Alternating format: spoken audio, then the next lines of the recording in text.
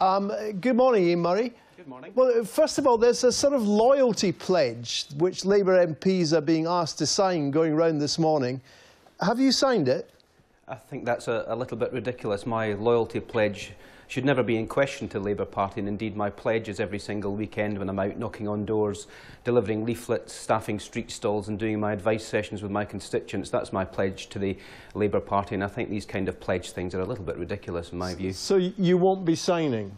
Well, I won't be signing it for a number of reasons. Firstly, because I think it's unnecessary, and secondly, as for a Labour majority government, um, I think what we need is a, oh, sorry, said a Labour-led government. I think we need a Labour majority government. So it's a, one of these things that happen, and I just don't think we should be signing these pledges. We should be getting on with the task of trying to resolve this Brexit issue, which is number one on the agenda at the moment. Um, there are, as you know, rumours going around that some Labour MPs may be on the verge of uh, leaving the party, or at least refusing to take the party whip. Um, it, would you appeal to these people not to do that?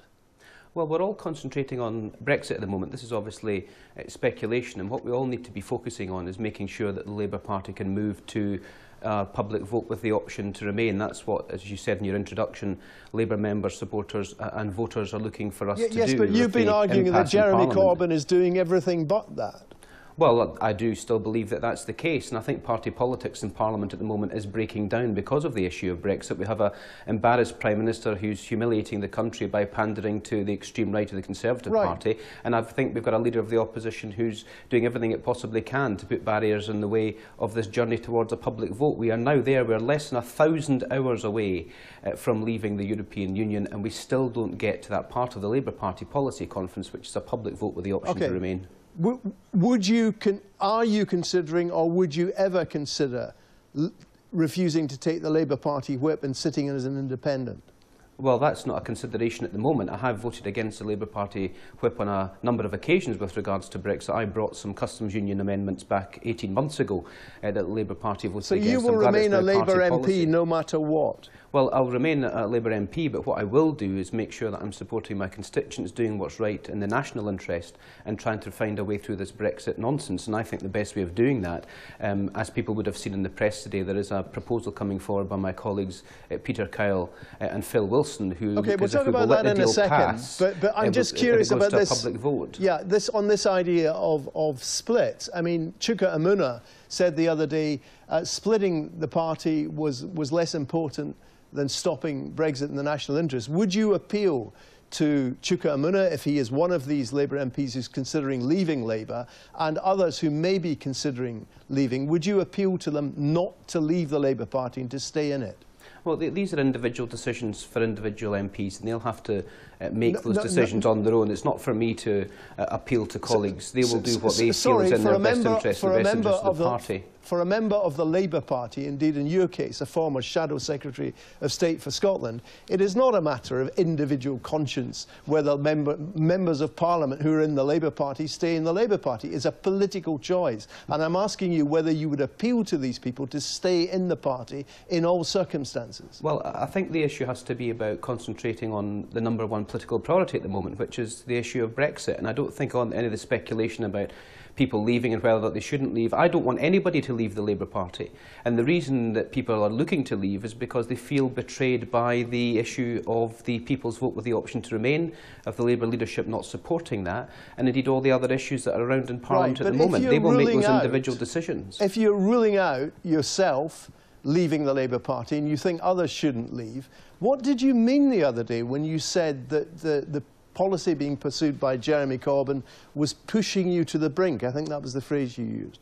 Well, it's pushing us all to the brink in terms of the way that we provide support in Parliament. We have to the, break the, down this party... The brink of what? Well, we have to break down this party political argument and do what's in the national interest. We've heard already on the Marr programme just before we came on there, the uh, chief executive of Airbus saying that this would be catastrophic for the country uh, in terms of jobs and in terms but, of but, future but John prosperity. McDonnell so has just, John McDonnell through. has just told Andrew Marr that, that Labour is keeping the option of a second referendum on the table. But the point he made was that they were trying to negotiate with Theresa May for some sort of customs union and that, that they are actually following the resolutions that were laid down at your conference.